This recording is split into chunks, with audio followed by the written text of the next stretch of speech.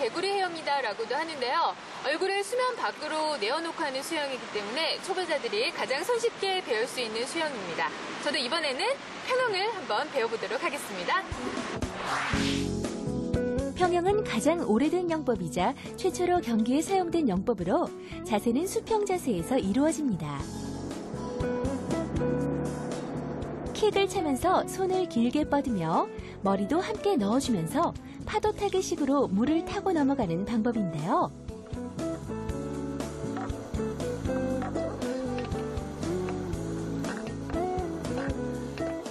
주의할 점은 머리와 어깨를 이용해서 올라오는 것이 아니라 팔 동작에 의해서 물을 가슴 안쪽으로 안아 모으면서 떠오르게 되는 것입니다.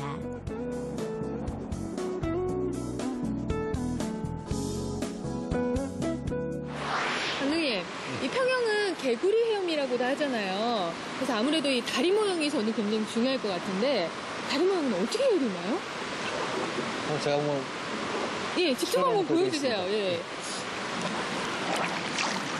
엎드린 상태에서 예. 처음에는 발목을 모은 상태. 이 상태에서 처음에 발이 예. 올라오면서 자기 무릎은 어깨 넓은 상태로 벌린 상태에서 발목이 제껴지죠 이렇게. 아, 완전히 이렇게. 그렇죠. 예. 그다음에 이 상태에서 물을 밀 때에는 발, 약간 발 안쪽이 예. 먼저 물을 밀어주면서 그 다음에 발 바닥으로다가 밀어주면서 마무리할 때는 발등을 완전히 핀 상태로다가 같이 모아주죠.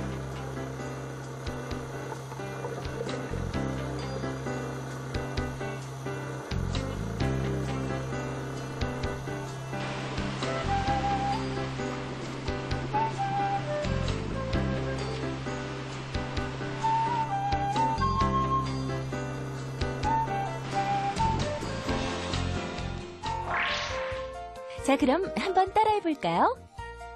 무릎 사이를 어깨 넓이 두 배로 벌리고 양 뒤꿈치를 엉덩이에 끌어당깁니다. 대퇴와 하퇴를 이용해 곧게 뻗어차고 다시 양다리를 모아줍니다.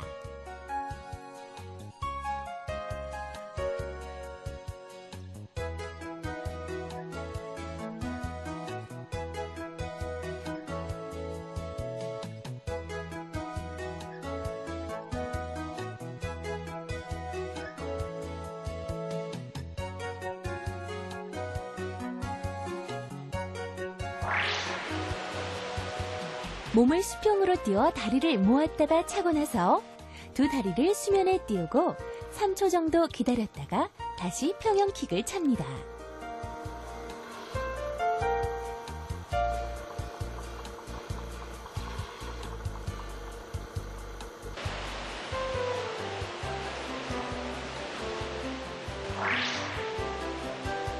킥보드를 잡고 하는 것은 발차기를 시작할 때 다리의 적절한 높이를 익히는 연습으로 킥의 조절 능력을 길러줍니다.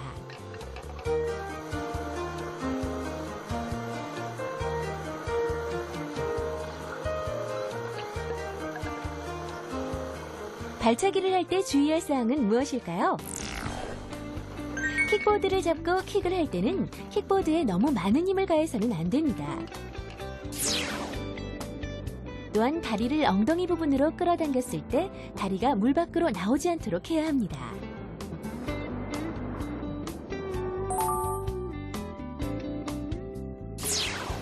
킥을 차기 위해 다리의 무릎을 끌어당길 때는 무릎이 너무 밑으로 떨어져 전면 저항을 받지 않도록 주의해야 합니다.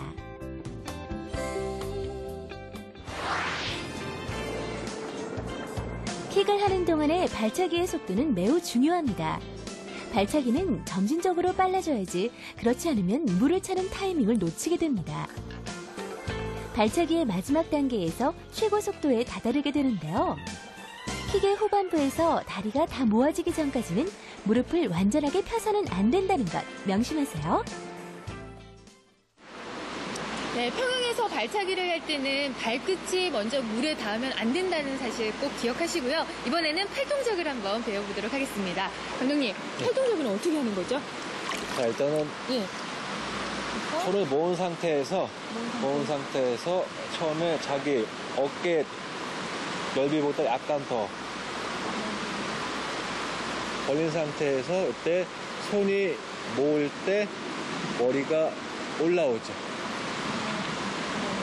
올라온 상태에서 손이 먼저 앞으로 나가면서 그 다음에 다시 머리를 숙여주죠. 모은 상태에서 자기 어, 어깨보다 네. 여기 어깨 어깨부터 조금 더 그렇죠. 네. 이 상태에서 그냥 자기 손 바닥 쪽으로다가 네.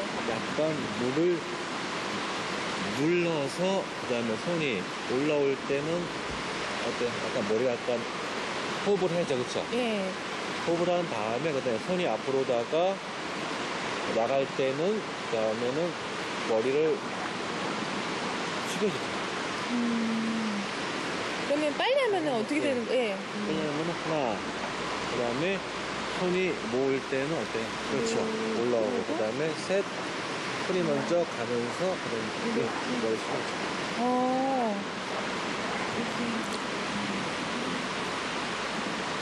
네. 자, 여기서 할 때는 손이 네. 여기서 네. 팔꿈치가 그냥 여기서 밑으로다가 빠지게 되면은 손바닥으로다가 물을 못 미잖아요. 예. 그러니까는 아. 때 옆으로다가 손이 예.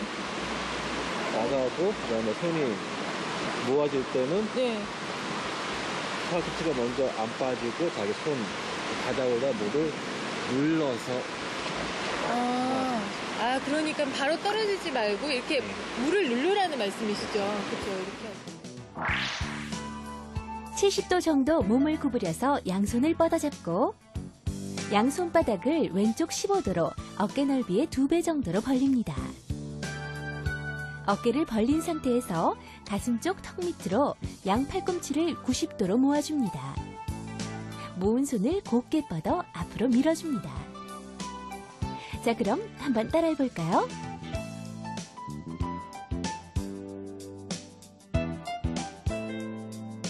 엎드린 상태에서 자 네. 손을 여기다가 앞에다 두고 그다음에 네. 제가 하나 하면은 자기 어깨보다 조금 더 멀리 하나 그렇죠 그다음에 여기서 손이 모을 때는 자기 손 바닥 쪽으로다가 네. 물을 눌러서 그 다음에 모아주면서 상체가 올라오죠 그죠 네. 그래서 호흡을 한 다음에 손이 앞으로다가 나가면서 같이 머리도 같이 숙여주죠. 언니 그럼 같이 한번 해볼까요? 예. 네. 자, 시작. 자, 시작. 하나, 둘, 올라오면서, 그 다음에 셋, 자고 나가면서 머리까지 숙여주죠. 다시 한번 더. 네. 하나, 둘, 셋. 하나, 둘, 셋.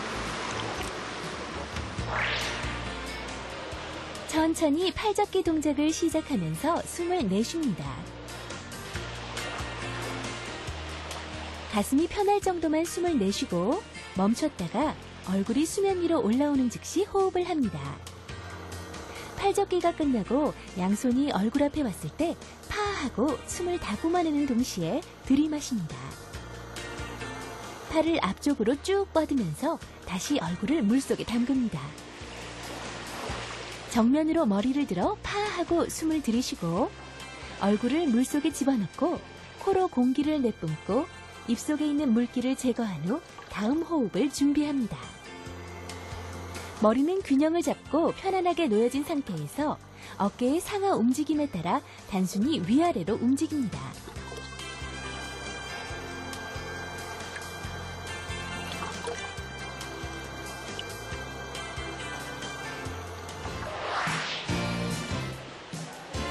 평형은 네 가지 영법 중에서 가장 느린 종목이며 천천히 동작을 하면 다른 영법에 비해 에너지 소모가 적은 이점이 있습니다. 그래서 먼 거리를 수영할 때 가장 효과적인 영법입니다.